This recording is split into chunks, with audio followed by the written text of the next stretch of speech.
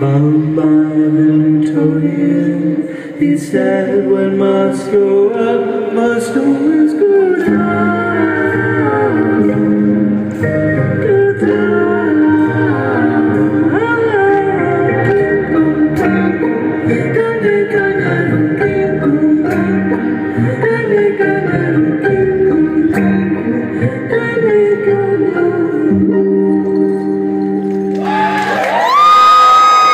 Thank you.